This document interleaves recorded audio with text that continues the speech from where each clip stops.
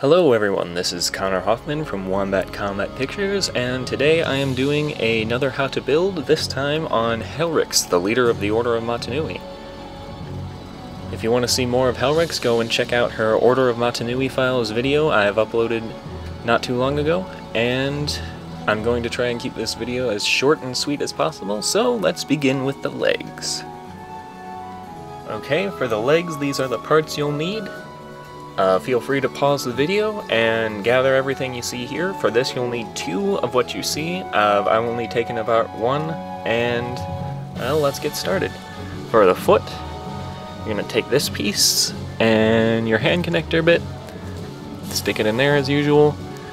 Then you're going to take this piece and this piece, slide them in together, and put a four long axle all the way through, and cap off the ends with washers.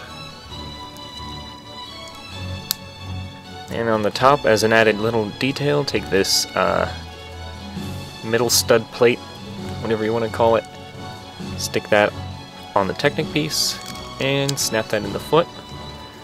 Creates a nice aquatic looking foot. Next you'll take this, uh, next for the lower leg, you'll take this silver Metru foot Add in the greebles as shown, two Lego studs on either side, and a bushing over the axle. You'll need a dark blue and nickel leg, and these two three long pins. Take one of them, stick them in the back top hole, take the other one, stick it in the front bottom hole, like so. Then you're going to want to build this out of Lego pieces. It's just a 1 by 3 curved slope piece and this fancy slope piece and two one-third size plates. Stack them all together. They don't necessarily have to be these plates. It just needs to fit in the Inika leg like that and fill, fill up the back. Next you'll take the Metru foot and just snap it in the front like so and that creates simple armor. Snap the foot in and then now for my handy dandy upper and upper leg and upper arm design using Hero Factory armor. This isn't necessarily my design, but I was the one that created it myself when I was building this. Like I didn't take this inspiration from anyone else. Um, basically, you'll just need this construction twice with hand connectors, this double pin doodad, and a single ball joint and a two long axle. Snap them all together like so, and then that works as a much thicker, much fuller looking Hero Factory bone basically. And for this leg specifically, not the other leg, you'll need this little doohickey and snap that on the back like so. That's where the sword, where her water blade will connect as a hilt later on. Snap that onto our knee, and there you have her legs. Next we'll do the arms. Okay, and moving on to the arms. Once again, this is a mirrored design with which you'll need two of. And I have one taken apart for you. This one has one piece in it, again, that isn't the same as the other arm, but they're practically the same, yet mirrored. So, for the hand, we have the simple uh, Gringat, classic Gringat hand design. Basically, if you don't know how to build that yet, what are you doing trying to mock? I'm only kidding. Some people don't even like this hand design, but you know, I think it works. So yeah, there's her hand, very simple. Uh, for her lower arm, you'll need a dark blue Rahkshi leg. This piece came on Gadunka, as a lot of good fancy dark uh, dark blue pieces came on. And you'll need these pieces you see here. Uh, for this, you'll take this piece, snap it in the side of the Kiina or the Kiina armor, and then put this bushing in on the other side to fill in the other gap. Then set that down and take this, stick that in the inside of her arm like that, and then take this stud and stud pin, put that in the middle to hold it down, and you'll take this piece finally, slide it through there, and then put the washer on the other side and push it all the way down, sort of like that, not all the way flush there, but almost. And then you'll take the Kiina, Kiina armor piece and just stick it in the back like that. And then there's her lower arm, and then for her upper arm is once again the same design I just showed you how to build with the legs, only with a different colored ball joint right there. The one I was using on there broke, so I replaced them with dark blue ones. Once again, snap the Hero Factory armor on and click everything together. This, by the way, is where the shield connects, and now you have build it again, mirror it, don't copy the shield connector piece unless you want to, and keep both keep the shield on either side, but this is how I built it, so this is how I'm showing you, so next we'll move on to the waist. Alright, these are the parts you'll need for the waist. Feel free to pause and gather your materials, and let's move on. This one actually uses some rarer parts, such as this, that came on some of the new Bionicle 2015 sets, as well as this Technic piece, which I no idea where I got this, but I have one, so I used it. Um, let's just begin. Here we go. I'll take two of these, plug them in the back of this construction I made here. This is the lower waist. The lower waist? The waist. and then we'll take that piece, shove it all the way through. And then set that down. We'll take this, this armor piece that came on Vamprah, and I believe uh, several other Barraki characters. Assemble it like so, and then snap it in the back on the pin and in like that.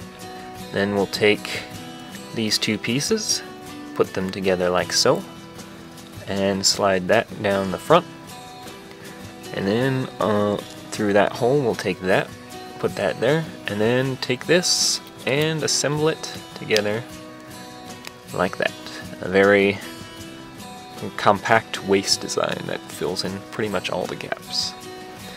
Uh, next we'll move on to the torso, the so, so complicated torso. Not really. It's only kind of complicated. It's based off my simple torso design, but you'll see, I guess. Alrighty, here's the torso design and the parts you'll need to build it. Um, first I'm going to show you how to build my super simple copy-paste easy torso design that I've used on several of my mops, mocks, not mops, mocks, including Raxus, which you haven't seen yet in Order of Mata Nui files, um, Name Unknown, which you haven't seen in Order, Order of Mata Nui files, Stuttering, or Gameth, which you have seen. Believe it or not, Gameth uses this torso design, or a form of it, I should say. So let's begin. First, you'll need these... Wait, limb pieces? What are those doing in a torso? Well, you'll see. First, kink it up like that. And that's how you'll get your torso design. Then for the next piece you will need this Hero Factory piece that came on the Gen 1 sets. The Gen 1, the Wave 1, 1.0, whatever you want to call it sets. Then we'll take these two and we'll combine them. You'll see how here in a second. I ran out of space on my SD card.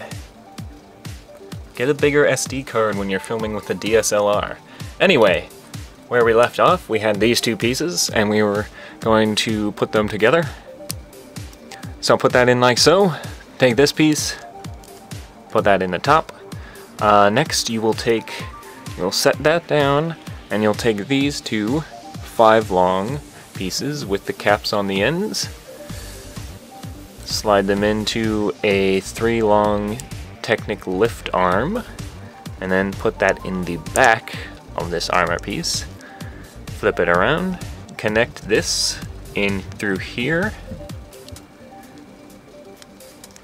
like so, and then flip them around that way.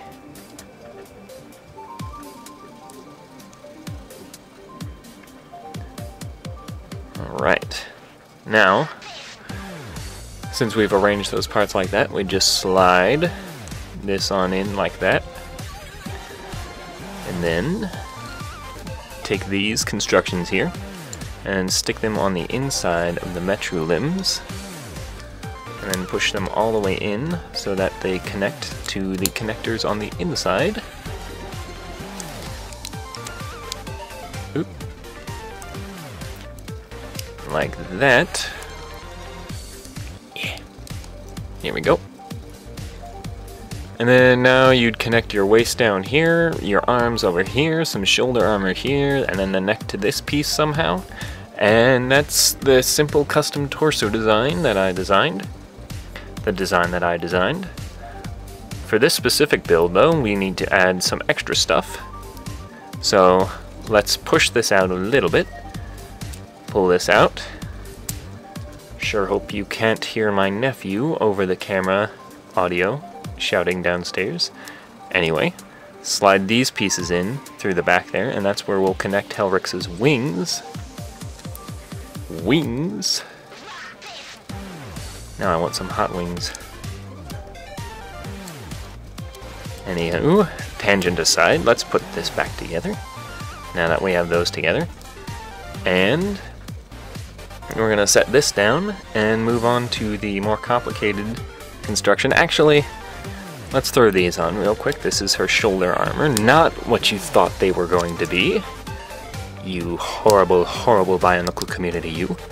So there you go. Shoulder armor, the way Nuva armor was supposed to be. Uh, anyway, let's take this and snap that together. We'll need that later. And we'll take these and put these together. This is another one of those rare pieces that came from Bionicle 2015. This piece, when I saw it the first time, I thought this was going to be super useful, but I've only used this once, so maybe if I get a bigger quantity of them, they'll be more useful, but that's all I've used that piece there for so far. So we'll connect those together, and then we'll take this, this is where her neck will connect, and slide that in there. And then next we'll take these pieces, these three pieces. Uh, this is just a couple of those super useful pieces in blue connecting to a blue pin and a too long axle and this fancy Technic piece. And then we'll put this together in like that. And next we'll slide this down these two axles. And once that's in there, we'll take this and connect that into there like so. And it will connect back to this piece over here, like that. And it creates this big old block of Technic pieces. Next we'll take this piece and we'll add that in there, and this is why that piece swivels, so it can go backwards a little bit and create that nice little angled armor piece in there. And that gets there, gets in there nice and secure. Uh, I was supposed to put this rubber band in there earlier, but I forgot. So let's just You'll need to run this rubber band under the neck piece. You know what? You run the rubber band under the neck piece like that. And then put that back together. Then we'll take these two armor pieces. We have a stud on a pin on the on one, and then a or a one and a half long pin on the other side and we just connect those to the front and then wrap ooh careful. And then you just wrap the rubber band around that one pin like that and then pull it back and down. Like not like that. Like this. It, like this frustrations of mocking, like that. There you go. See how that goes? Grab the other side and pull it down and around, and like that. And then straighten them out. And there you go. There's her upper torso. I guess that's what I meant to say earlier with the lower waist thing. I meant the lower torso or the waist. Speaking of which, we can just go ahead and snap that in. And that's how you build her waist. Or, er, her torso! Yes! Success! Alright, now time for the head. This one's going to be working some fancy rubber band magic, so I'll let you get a, a semi-close-up shot of it. Anyway, basically there's a white rubber band wrapping up around a washer on a three-long pin. It's going up and then through this Technic piece around the outside, and then all through some Bohrok eyes so that she can have the Bohrok eyes inside the Hordika head over here, and very compact as well. So you're gonna want to keep keep that together. And for this, I had to use like a pin to actually like pull the rubber band through everything. That's how tight it is. So that's why I didn't want to take it apart and do it on camera because that's very complicated. Anyway, my battery is almost dead, so let's continue. Uh, let's start with this. We'll take this and um, put that, put this connection right up in front of it and connect it using the very useful pieces on either side.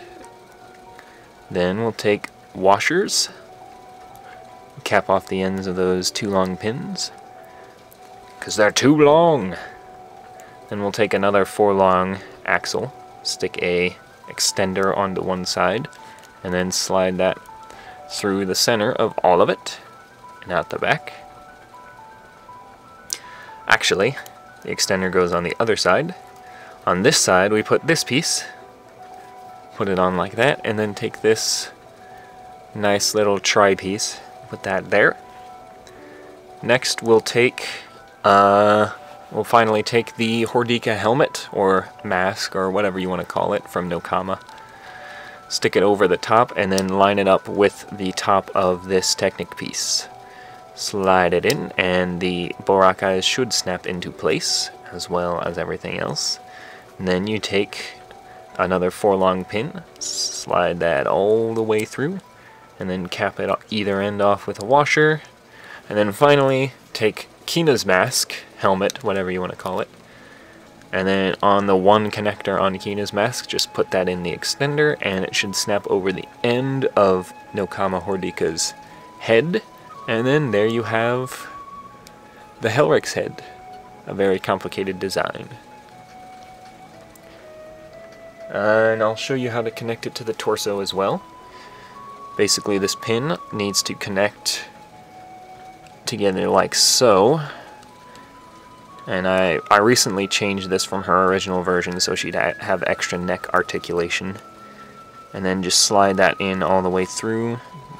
Poke it out a little bit in the front so that it doesn't stick out so far at the back.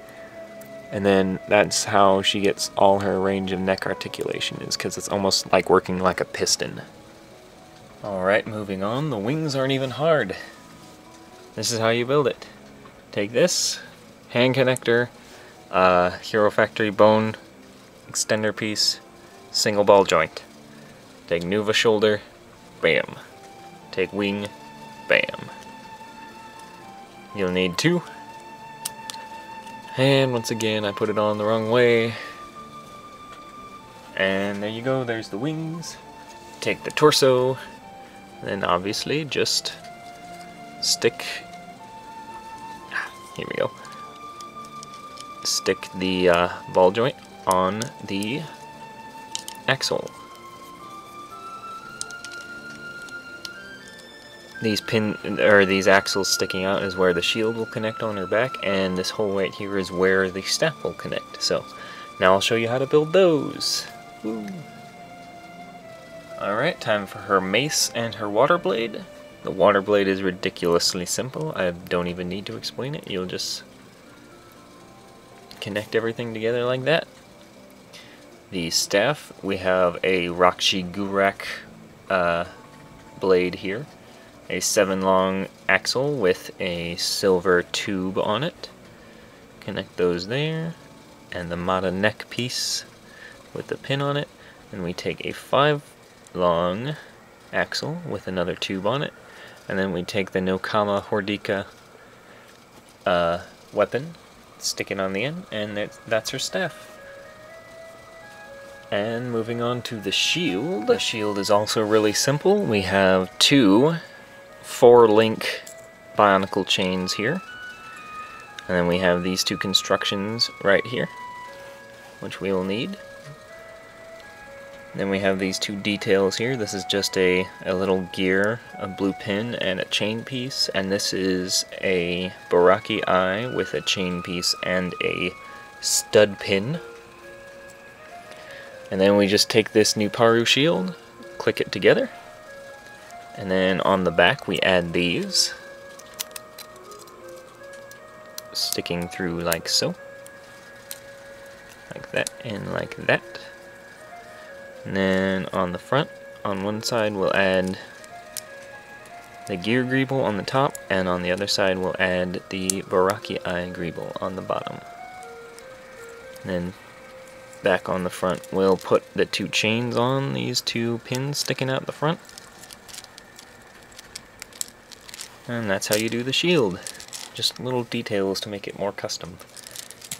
And on the back you'll see this is where we connect this to her arm and then if we wanted to connect it to her back on those two axles that I showed you before that were poking out from her wings, we just put them in there and that'll hold her shield on her back. Finally, let's show you how to assemble everything. So, all your weapons and stuff. All the MOC's limbs, and the torso, wing, and head construction we've put together so far. On the waist, we'll put the legs. Like so. And then we'll put her water blade on her hip. Next we'll click on her arm right up here. And then on the other side too.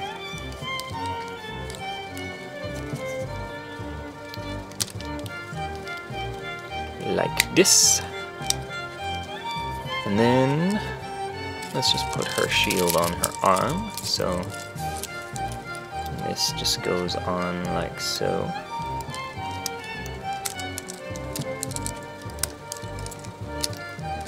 And then I usually put her staff in her hand.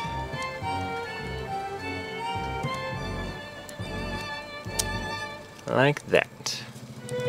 And that how you build Helryx. Now let's see if we can get our Oop. heavy camera. Here we go. And as usual guys, that is how you build Helryx. Once again, if you guys do anything related to this MOC, build a design, build a mock, build your own version of the mock, not a Helryx mock, I mean of this specific Mach go ahead and make a video of it, post a link to it in the comments, and I'll add it at the end of this video as an annotation, and just to keep a record of who I have inspired by my video. Also, if you want to request more how to build videos from some of my MOCs, you can go ahead and uh, check out my Order of Mata Nui Files series. I have a good portion of my MOCs uploaded to that series already, and more to come every two weeks. Or if you're not patient, you can go check out my mock pages where I have some of my older mocks that I haven't made Order of Mata Nui Files videos for yet on there, so you can always give that a look. The link for that is usually in the description of every video. And without further ado, I think that is it.